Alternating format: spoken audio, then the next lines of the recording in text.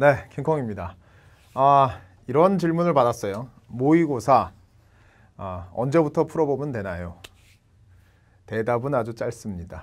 아, 당신의 등급에 따라 달라진다 이겁니다. 모의고사의 그 지금은 이제 여러분들이 이렇게 단어를 공부하는 한 사람, 그 다음에 구문을 공부하는 사람, 평가원 기출 문제, 또 이제 EBS를 공부하는 사람 이렇게 다를 텐데요. 사실상 저 모의고사를 언제부터 풀어보면 되느냐에 대한 질문은 그게 이제 1등급인 학생, 2등급인 학생, 3등급인 학생에 따라서 현재 지금 공부의 어, 수준 그거에 따라서 여러분들이 해야 되는 게좀 달라질 겁니다. 우선 이 모의고사라는 말의 의미를 좀 알아야 돼요. 그 빈칸 완성 있죠, 빈칸. 빈칸 완성 문제를 학생들 입장에서는 학생이라고 좀 그렇고 그냥 이제 영어 공부를 많이 하지 않은 학생 입장에서는 그냥 영어 지문에다가 아무데나 이렇게 빈칸 뻥 뚫어놓고 빈칸 이거 들어가는 거 뭐게 이렇게 물어볼 거라고 생각할 거예요. 그런데 그렇지가 않습니다. 이 모의고사는요. 모의고사라는 건 그냥 시간을 재고 이 정도의 문제를 이 시간 안에 풀어야 된다. 그런 모의가 아니에요. 이 모의고사라고 하는 건 시중에서 팔고 있는 건요. 어, 현재 우리나라에서 출제되고 있는 수능과 같은 유형으로 제작된 문제를 모의고사라고 하고요. 그 같은 유형이라는 건 지문이 있어도 아무데나 이렇게 빈칸 빵빵 뚫어놓고 빈칸 쳐라 이런 게 아니라 아무데나 빈칸을 만들지 않고 빈칸 문제를 딱 보면 아 이거 빈칸은 주제문에 빈칸이 뚫렸네. 아 이건 반주제에 빈칸이 뚫렸네. 따라서 이건 주제문이니까 위아래 주제문을 따라서 이 빈칸을 답을 찾아야 되고 주제와 반주제 양강 구조 속에서 대립 구조 속에서 반주를 찾고 이렇게 공부할 줄 아는 학생을 우리는 이제 1등급이라고 얘기합니다. 1등급인 학생들은 어, 모의고사를 언제부터 풀면 되나 라는 관점에서 특별한 그 스타트 시기는 좀 없을 거예요.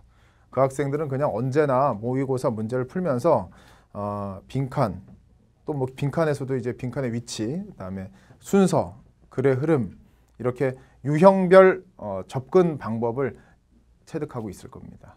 근데 이제 하다 보면 아 난 이게 항상 약해. 자신의 취약점이 좀 보인다. 이렇게 유형을 알 줄 알고 유형에 대한 강점과 어, 자신의 장점과 단점을 파악하고 단점에 대해서 노력해야 된다. 이런 뭐 1등급 정도 된 학생들 입장에서는 어, 늘 풀어보세요. 어, 매일 푸, 문제 풀면서 실전 감각 익히고 이렇게 보면 될 텐데 이 영상을 보는 학생들 대부분 아마 이제 2등급과 3등급 이하의 학생이겠죠. 어, 2등급 학생인 경우는 이 부분 제가 이제 여기 써놓은 구문독해하고 모의고사의 그 상호작용, 병행에 대해서 좀 신경 쓰면서 학습을 하시면 좋을 겁니다. 무슨 말이냐면요. 기본적으로 그 모의고사를 푼다라고 하는 건 한 문장 한 문장 그 번역이 해석이 돼야 문제 유형별 문제를 풀 거 아니에요. 그런데 구문 독해를 열심히 하다가 실전 문제를 딱 모의고사 문제를 풀어보면요. 아, 내가 이렇게 구문 독해했던 게 실전에서는 이렇게 적용이 되는구나. 라면서 깨닫는 게 있고요. 또 모의고사 문제 풀다가 구문 독해를 해보면 아, 이 문제 유형에 좀 최적화된 해석법에 따른다면 이게 어, 의역이 좀 이렇게 바뀌어야 되겠구나. 즉, 한 문장 한 문장 해석하는 구문 독해랑 전체 단락 독해의 관계, 문제 유형 이것을 그 상호작용, 상호 작용 속에서 그 학생의 영어 실력이 좀 증가될 거예요. 그러니까 2등급 정도 되는 학생이라면요. 그 구문 독해하고 그 구문 독해라고 하는 거는 그냥 기본적인 독해 실력. 그거 50.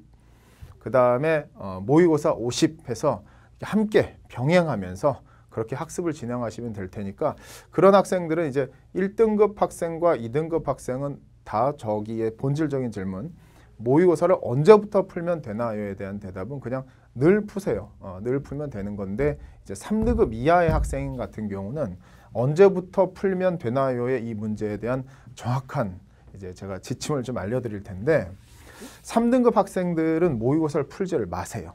어, 제 생각이 그렇습니다. 왜냐하면 그 3등급 학생은 그 단어에 좀 초점을 좀 맞추는 게 좀 우선시 되는 거니까 아직 모의고사라는 그 본질이 수능 출제하는 그 방식과 동일한 방식으로 만들어진 문제 유형 패턴을 푸는 게 모의고사인데 3등급 이하에서는 실제로 문제를 풀면 자신이 잘 알고 있는 단어도 있을 거고 근데 좀 자신이 없는 단어도 있을 거예요.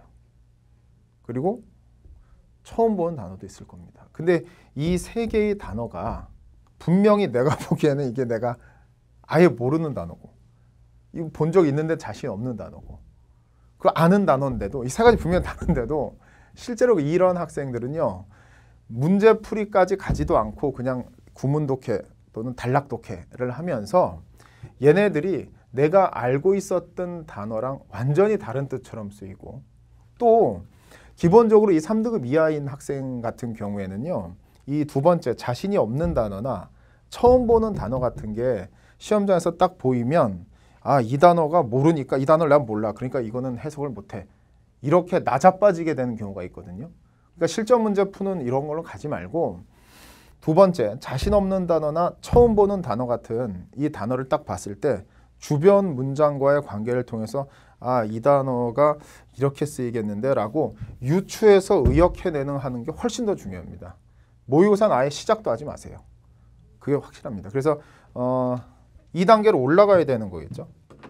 어, 3등급 이하에서 2등급으로 올라가고 1등급 이렇게 올라가는 이런 과정이 되는 겁니다. 그러니까 전체적인 제 흐름을 보여줬으니까 우선 단어 먼저 시작하십시오.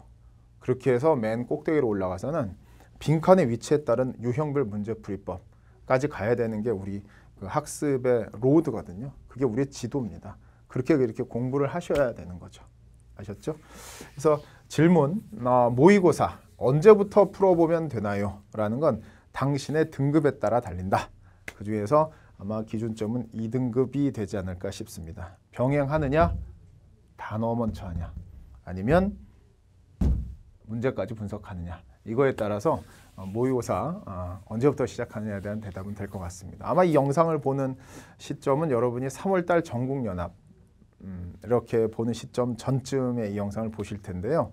어, 제가 이제 등급에 따라 어떻게 공부하는 게 항상 효과적인 건지를 말씀을 드렸지만 어, 각자 개별적인 건 좀 다 다를 거예요. 그러니까 딱 이렇게 딱 나뉘어지진 않겠죠. 1등급인데도 이런 고민을 갖고 있는 사람도 있을 거고 어, 2등급인데도 이런 거 생각하는 학생도 있을 거고 그럴 겁니다. 그러니까 개인에 대한 고민 어, 이런 거는 제 메가스터디 킹콩 학습 게시판이냐 아니면 뭐 여러 가지 게시판 있잖아요. 제 킹콩 게시판 오면 이렇게 일일이 자신의 고민을 올려주고 그 고민이 친구들이 봤을 때 좀 창피한 것 같다. 그럼 비공개로 해버려.